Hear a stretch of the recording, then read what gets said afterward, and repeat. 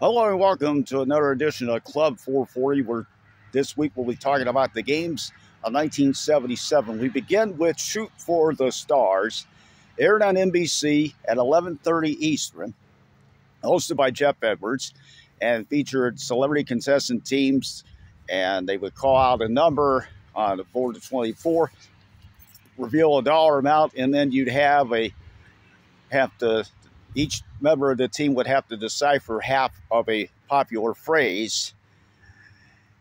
And the content, the first team to score fifteen hundred dollars plays a special round in which the jackpot started at like fifteen hundred, increased five hundred for each day, each time it wasn't won, And they were, they had a random selector. They were given one minute to identify, come up with anywhere from four to eight two-word phrases and usually you had to do one at one word at a time to get your partner to say the phrase.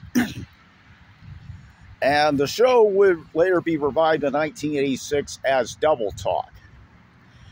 This next show also had a revival that I'm sure most of you know as Press Your Luck. And as I said in my video about Press Your Luck, it indeed received a second chance, and that was the original title of the show when it aired on ABC in March of 1977. Jim Peck would read a question, and each of the three players had to write down their answer and secretly, and then he would give one of give, give three choices, and if you changed your answer and were correct, you got one spin. If you stuck with your original answer, you got three spins. The only other difference was between this and Press Your Luck was that there was no sustained champion. I mean, three different players every day, each day. In the spring of 1977, ABC decided to expand All My Children to a full hour and move Family Feud to 11:30, and that began to put a crimp on the ratings not only for Shoot for the Stars, but also the daytime drama on CBS Love of Life, which by the end of the decade had pretty much been relegated to a late afternoon downgrade to a late afternoon time slot. Ultimately, was off the air by February 1980. So a month later, in June, NBC moves Shoot for the Stars to 12 noon, replacing the Name That Tune, which had also debuted the same day, and inserted a new game show called It's Anybody's Guess, hosted by Monty Hall, who by this time had pretty much uh, ended up his well run as host of Let's Make a Deal and he would read a question and to a panel of five, and a, a pre-selected, rather humorous answer came up, and it was up for two contestants to determine whether or not the panel would guess that answer, and whether they get it in one out of three, one out of seven, one out of five, and the winning the contestants first contestant scored five points, then had a chance to win a new car and five thousand in cash by going through the panel twice with two answers. Well, one, after they went through the panel once, one of the answers would be eliminated. And the next challenger would be the contestant or the panelist who either won the most prizes or the, most money in the prizes. And you say it on the panel to show games, and then you were you uh, were dismissed.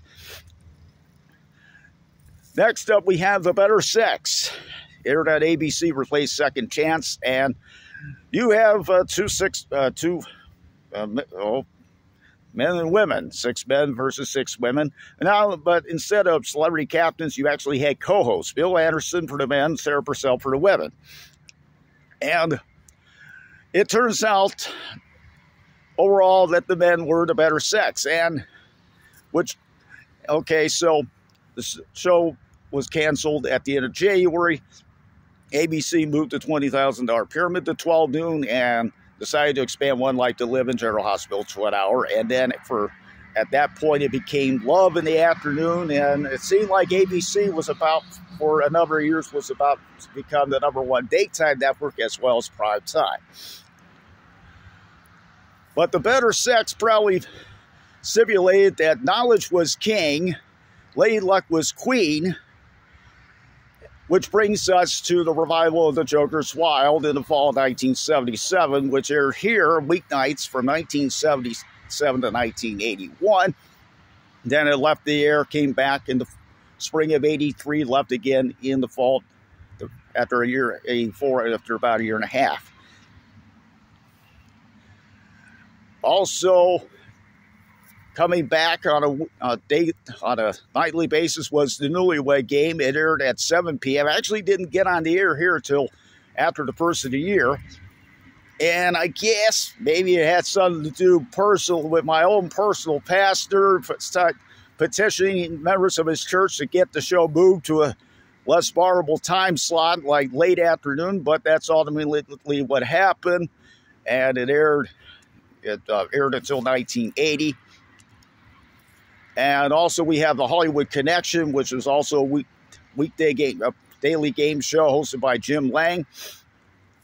And I guess Barry and Enright decided, well, we don't want to directly rip off Match Game 77. We'll just put the celebrities in the center of the stage. We'll have the contestants off to the right. And and they had to predict the contestants score points predicting on how the contest how the celebrities would answer questions. It wasn't necessarily match game as that show was. I mean, it wasn't supposed to be a funny type of show. And uh, it was also in 1977 that the University of Northern Michigan launched its long running quiz show, High School Bowl, according to something I took notice this morning. Now we bring you to October, and NBC still struggling with Mayday or midday, excuse me. So they put Knockout at 11:30. Arte Johnson hosted a quiz show. He had done many shows on I guest star many celebrity game shows on NBC, and finally gets a chance to host a game show. And then to say the least with Tom Kennedy at 12 noon. Now CBS not only did not didn't launched a new game show in 1977, but it decided to cancel Tattletales in November to expand the guiding light to a full hour. So there you have it. Those were the game shows of 1977. Thank you for watching. If you made it this far, leave your comments on this video. And we'll be back here next week.